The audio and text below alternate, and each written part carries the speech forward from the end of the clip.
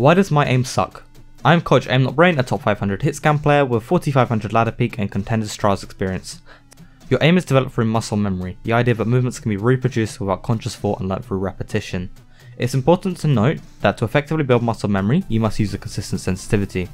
What this means is that you should pick one sensitivity and ensure that it's used across all heroes.